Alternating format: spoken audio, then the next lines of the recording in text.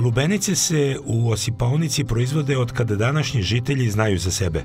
2000. godine organizovali su Bostanijadu, manifestaciju koja privlači ljude iz cele Srbije.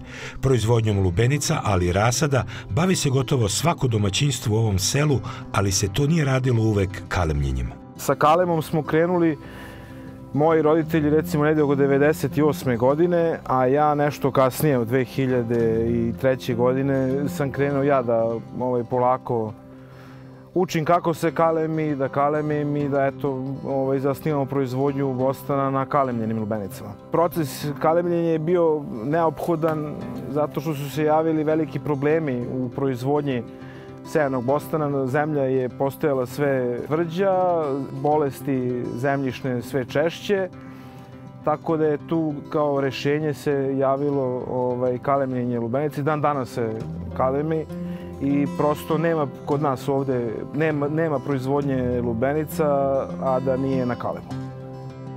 Milan već godinama sam kalemi rasa da kao podlogu koristi ili domaću tikvu ili takozvanu hibridnu podlogu koja se pokazala kao bolja i zbog prijema, ali i kvaliteta.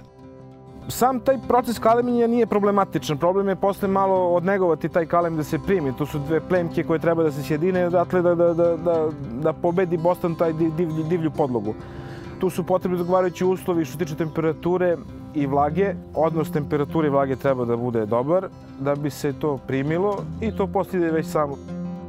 Pošto osim za sobstvene potrebe rasada ima i za prodaju, kupci, kako profesionalci, tako i hobisti, dolaze već godinama kod Ružića i uvek pitaju da li proizvode još nešto osim lubenice.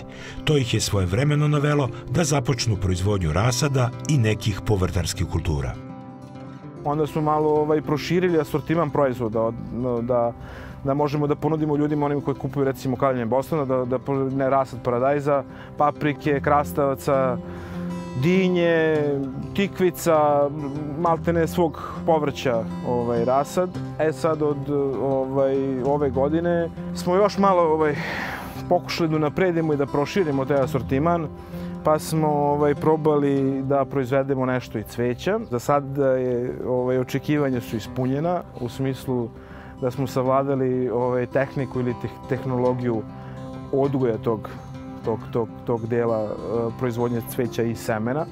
Samo smo radili proizvodnju semena ove godine. Pa ćemo vidjeti, verovatno ćemo za, za sledeću godinu da radimo malo iz reznica, ono krupnije cveće i tako. Ovo je samo uvod jedan. Trenutno imaju nekoliko vrsta cveća, pretežno takozvanog balkonskog i baštenskog, za koje su procenili da ima prođu i da će biti tržišta. Proizvodnja cveća je malo zahtevnija u odnosu na povrtarsku proizvodnju i proizvodnju rasada. Ne, za proizvodnju cveća koje, o kojoj mi razmišljamo su potrebni neki malo zbiljniji uslovi ovaj, da prilagodimo pro, ovaj, proizvodnju. Nadamo se da ćemo to ovaj, odraditi u toku ove godine i da ćemo se spremiti za nastav, kažem, da proširimo malo proizvodnju cveća. Jer e, ne znamo koliko je isplativije sada proizvodnja cveća, to još uvijek ne znamo, zato što nismo počeli da prodajemo, ali definitivno je lepše u odnosu na proizvodnju rasada povrća. Mnogo je lepše proizvoditi ipak cveće, ovaj, biljke koje su racvetane nego povrće. Da bi dobili kvalitetan rasad za radnu proizvodnju lubenice, ali i povrća, a sada i cveća, morali su da imaju grejanje. Sistem je najjednostavniji koji su mogli da osmisle i ugrađen je u svaki plastenik. Dovijeli smo se na svakakve način da bi postigli taj efekat temperature do, za vreme hladnijeg vremena. I do duše, da, tu su neke ovaj, bubnjare koje ložimo, dupli najlon i temperaturu smo obezbedili na ovakav način. Krajem marta kada smo snimali ovaj prilog, peći su se ložile svake večeri kako bi se obezbedila dovoljna temperatura tokom prohladnih jutarnjih dana sa slabim mrazem.